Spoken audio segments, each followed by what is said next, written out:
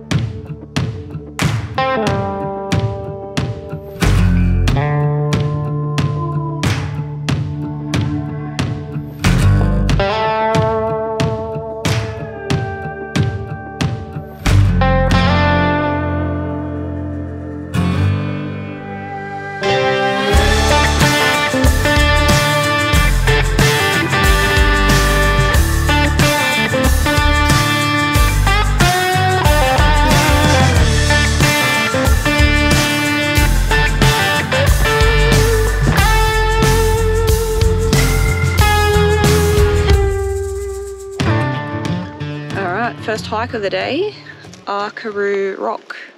So it's pretty much the first one you'll come to as you enter the park from the south. 3Ks, reckons two hours. Maybe with the amount that we stop and look at stuff.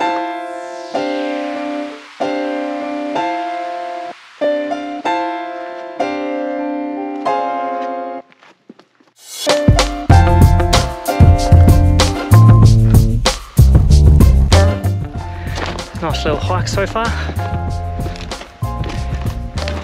It's um, not crazy hard, plenty rocky, plenty of hills. It's good. Amazing views, but let's get out of these trees. I'll show you.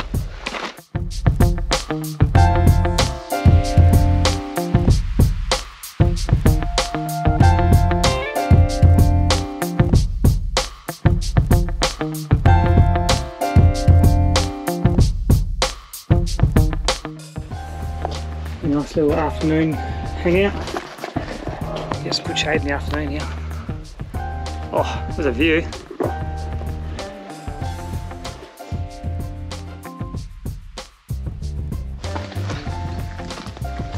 One point six k's into the little hike, and you come across the rock art. Oh, there's some decent amount of rock art too.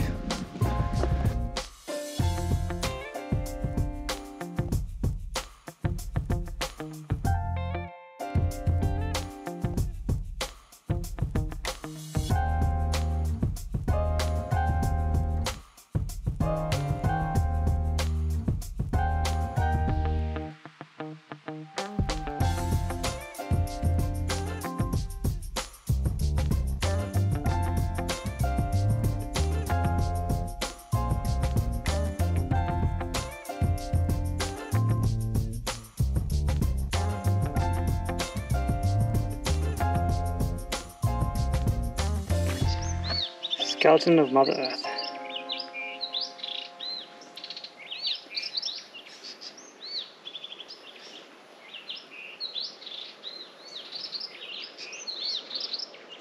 So that's the little trek done. 3.22 k's. It's pretty, not say intense, but a bit of a workout. It's pretty easy, just a few rock scrambles. Well, not even scrambles, really. Uh, how long did we take to do it? We did it in one hour and seven minutes with FAF. A lot of faff, a lot of stopping to take photos and videos. So uh, if you just want to come and check it out, allow an hour, an hour and a half. Easy. Good boots and waters, definitely.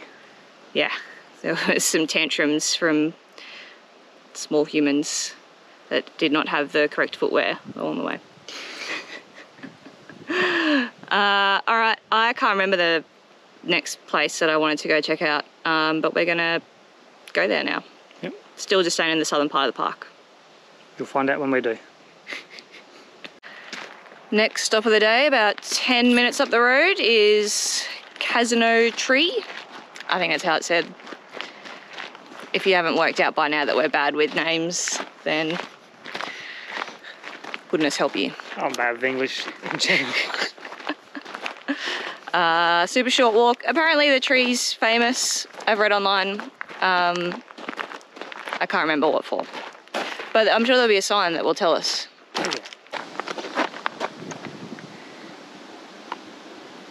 So it's famous because photographer Harold Cazneaux took a nice photo of it. Sorry, wind's just picked up. I actually seen this tree on an ABC documentary. Not it's an ABC documentary, it's an ABC program about the world's best tree. Something. It's a four or five part series. Pretty sure this tree was in that. Bloody from back roads. Came, came to this tree. My age there. Watching back roads and documentaries on trees. 40 year old boomer. it hasn't really changed a lot since 1937. Oh, nice backdrop. Beautiful backdrop. Uh, next up, we're going to head to Sacred Canyon. Another short walk, and then we'll probably have some lunch there. So, Sacred Gorge um, is restricted access for guided tours only, and we are obviously unguided, so we will give that a miss and uh, add it to the list of places to check out when we come back during our lap.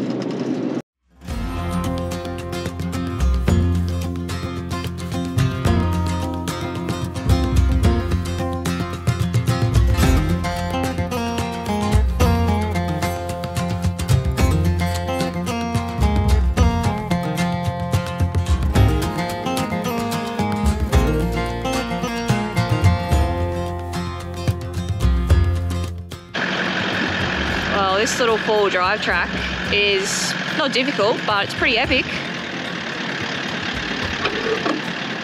Razorback lookout. Probably about halfway from the turn off to camp. Pretty much just a road, just dirt road. Yeah, a few little washouts, but um, yeah, gnarly views coming over the uh, ridge, and looks like we've got a bit more to come. Judging from the track down there, thoroughly enjoyable. Unless you're behind me eating dust. Different formations over the years. Built.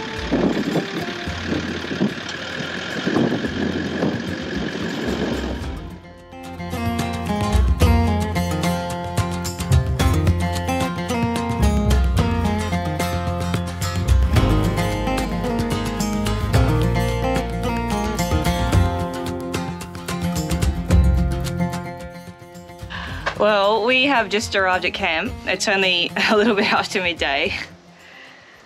And it's uh, it's got to the point where it's pretty much too hot to do anything else. Um, so straight in, uh, we're at Acraman, Acra, Acraman, Acraman, Acraman uh, campground. really close to Bunyeroo Gorge, and yeah, we just set the awnings up straight away. Get some shade, cool down, uh, have some lunch, and then once it starts to cool down in the afternoon, we'll probably go and have a bit of a look at some of the sites around here. There's a yellow-tailed rock wallaby colony not too far away. So we might do some day tripping in the Lux. But yeah, there's a storm that's also meant to be coming this afternoon. So that might stop us from doing any of that. Might be interesting. It could make it interesting. See some soggy wallabies.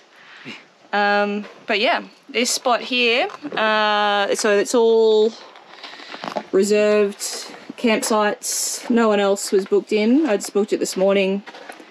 Four sites here, and there were four available. But um, nice view of the gorge there, and we're pretty close to the gorge um, walking trail start off.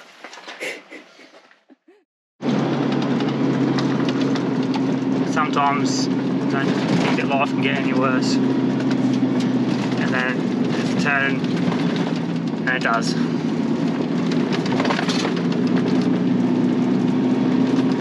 Day tripping so, so yes, we're day tripping in the Lux. Well, not day tripping, we're just going for a trip. Oh, is it through the day? It's daytime, but it's not a day Are trip. we going on a trip? We're not going away for the whole day. Is it a trip though, away from camp? Not really, just down the road. So we're going for a drive in the Lux. it's rough, I'll give you that. The, the, the Uber driver's getting a one star rating. but it's stinking hot. It's 39 degrees outside, and we thought, what better place to be is in aircon. So we're going to go to where there is a colony of wallabies, uh, the yellow-tailed variety. Yeah, I'm very excited. Carlia does love wallabies. Yeah. I like wallabies. Don't like the Lux. Nah, Lux are alright. Just don't like sitting in the passengers seat. but, yep, we're going for a trip. Go find some wallabies.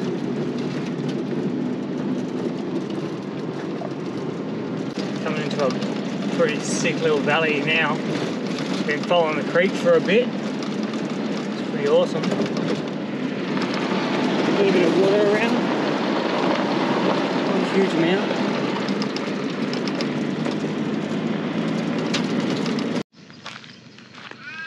Alright, there's another storms are brewing. Get some thunder.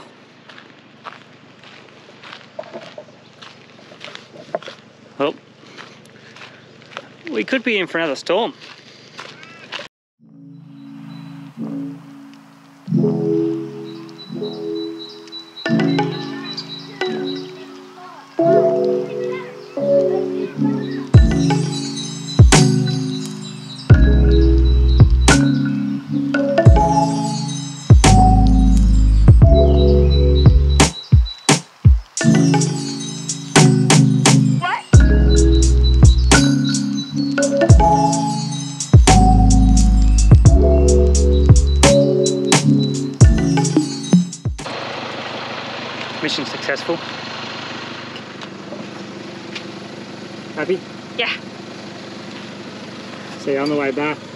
Spotted a couple little wallabies up in that little hole up there. And then there's another little baby in there, and there's a couple over here. There's a whole bunch of goats. Oh yeah, there's a shitload of goats. So yeah, pretty successful. They all seem pretty happy up there, just chilling out.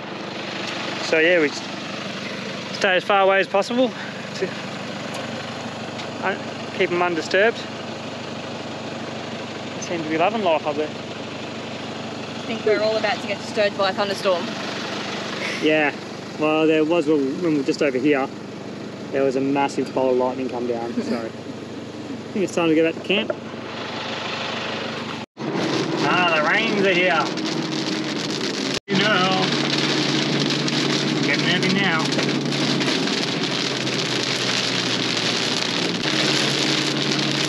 Pretty decent rain.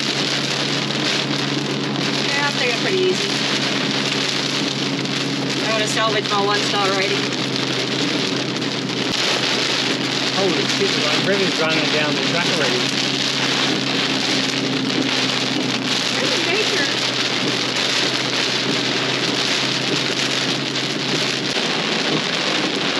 Oh, that river's flowing. These were all dry when we came down. Flowing here. Holy shit. Well, that was an unexpectedly exciting trip back to camp. And I think we've pretty much just beat the rain. It's coming. It's coming. There's only been a little bit here. I think it's coming from the northwest and we've just come from the northwest. It's clapping, thunder's clapping off everywhere. So batten down the hatches.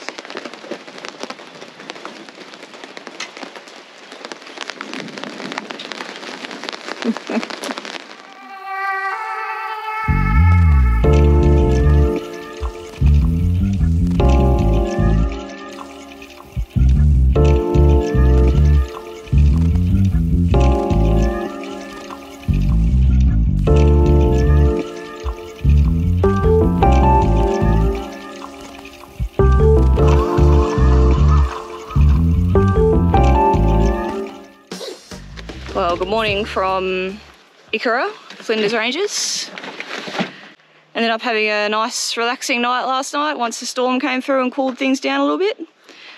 Uh, and we are up and packed up really reasonably early this morning to head off to do the Bunyeroo Gorge hike. It was a bit hard this morning. It was bloody humid. no wind. It's not that hot, but man, sticky. Yeah. Um, so the hike we're about to do, it's listed as a, about a 7k hike, but there's no real destination as stuff. You just walk through the whole gorge. So we'll see how we're going time wise and whether we do the full 7Ks or whether we turn around a little bit early. And um, yeah, looking forward to having a look around Bunyeroo Gorge. So we are just going to do this bit up here. That goes to the western extremity of the national park.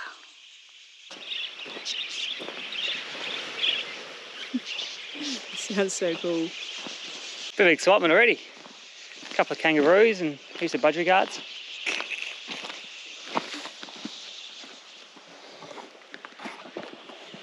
The disappointing thing about all of the national parks and that these days, feral animals. Saw heaps of goats yesterday. There's foxes and cats as well out here.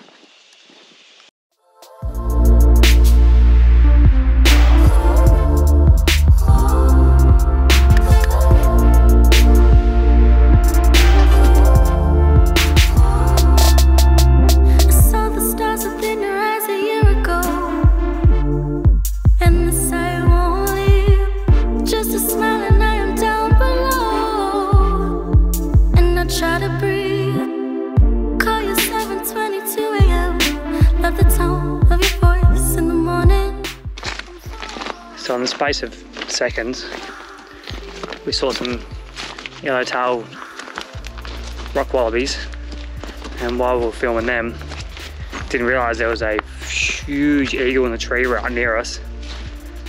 It just bombed out of the tree and just cruised down about eye height away from us down the creek. It's bloody epic. Cannot complain.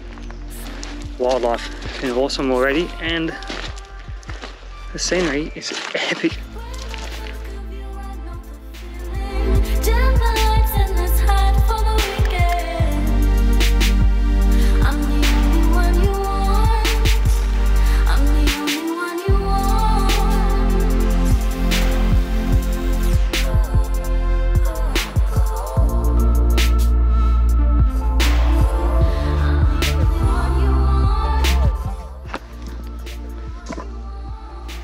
Spotted an eagle just chilling out in the creek bed up there.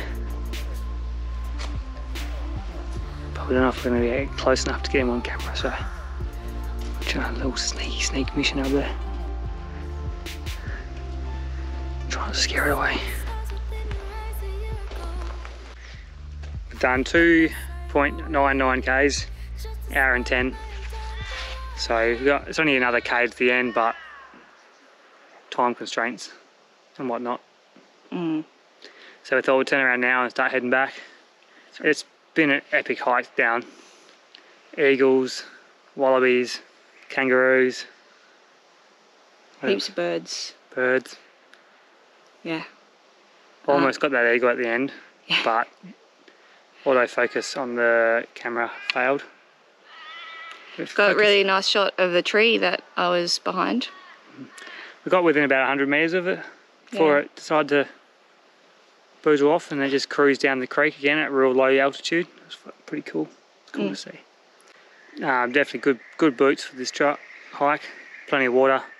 We bought the snake bite kit and the GME PLB just in case. And, and we got EpiPens. Yes. So It's good to be prepared, even if it's only a short hike, particularly if you're out in the uh, more remote areas, in case you do get into trouble. Especially um, for those of you who are allergic to many things. But yeah, we're gonna smash it back to the cars now and hit the road. Yep. Then we're going to finish off the Flinders Ranges loop um, and then call it a day for the episode. Yeah. Call it an episode. See you at the next stop.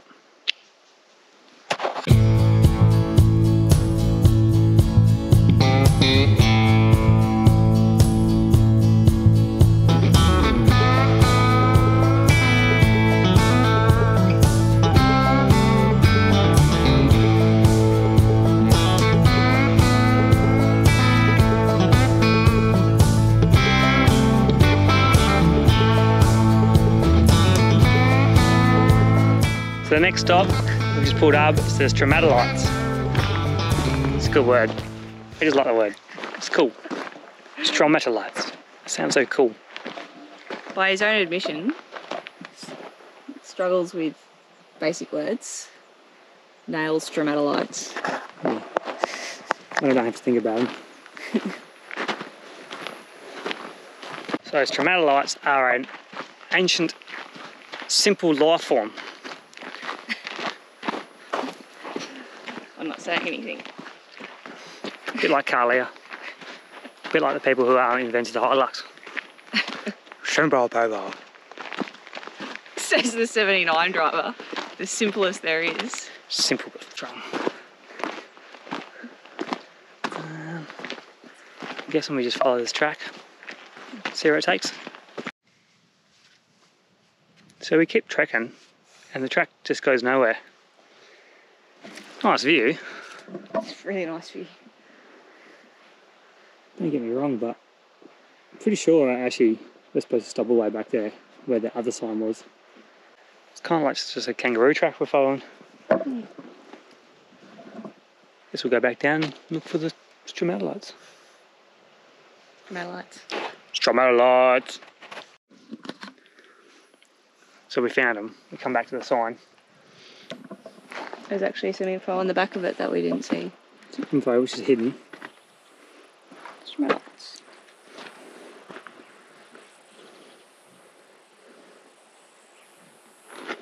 So, as per that documentary I watched, I think this gives you the best example here of the stromatolite. Multiple layers of single-celled organisms building on top of on top of each other, which build this form. I think that's what it is. If any geologists out there know better than me, which you mostly do, or anyone who mostly knows better, let us know in the comments. Got some some other pretty interesting things around this area. Even just the plain old igneous rockius. So it's an it's an igneous form of a rock, which is a rock, which is pretty exciting. On the walk I- we found, also found some igneous woodurus, which is an ancient form of carbon which collects into a form of wood as formerly known today. Known as a tree. Yeah, simpleton terms. Three. There's some living ones here. Come in multiple forms. Yeah, So that's an igneous one. It's dead. All right, let's get moving. Ah.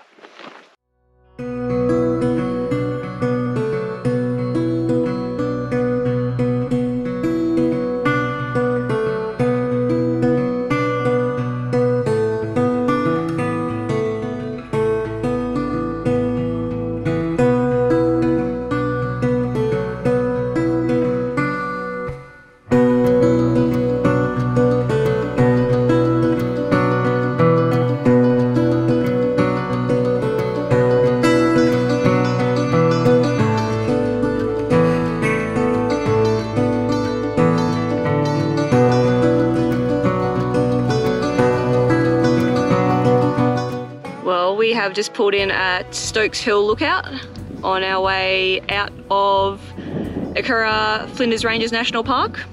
And that's pretty much where we're going to wrap this video up. Uh, hopefully, you have enjoyed this episode. Uh, super short visit here. We will come back during our lap. There's so much to do here. Going past so many points, we were like, oh, we can turn off, camp, we'll explore. Yeah, Definitely worth coming back. heaps of hikes. Uh, if you have been here before and there's anything that we absolutely cannot miss next time, let us know in the comments. If you like this video, you know what to do. Smash that like and subscribe button.